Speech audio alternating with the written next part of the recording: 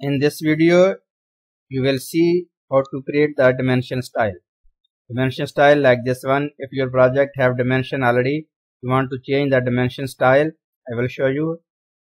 And also if you want to mark the dimension, how can make dimension. First you will see how to mark the dimension. Go in the annotate. Just click here. When you click here, is two window. If you make uh, one individual, so click here. Keep it individual face to face then you have click this face and this face it will be coming like this one.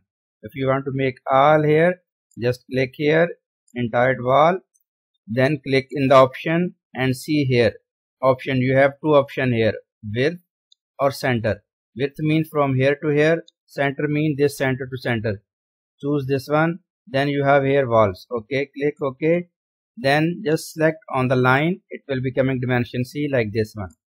So like this you can create the dimension. If you want to from center just click here center core then it will become from center. See like this. If you want click here center and here also face. You will see here like this this difference.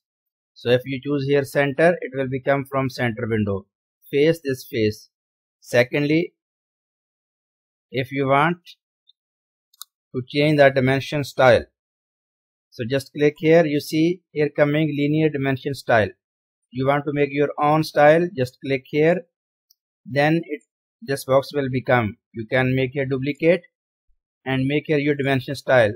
For example you can say my dimension style. Click here. It will be name change. What have here? Graphic. You have dimension style. How much you want to make mark the uh, weight of line size. Everything is here you can change.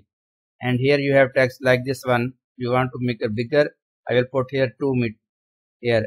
Here have also bold. Uh, you want to make bold bold. Here also text size. Text size you can create 5 and this is factor. Factor mean here have 2 it will be short 1 so always factor keep 1 then you will see here unit. You have millimeter unit you want to change unit you can make here meter for example here. This normally start in the project when you can set up. So if you want to change just change here meter. So this is called create dimension on style.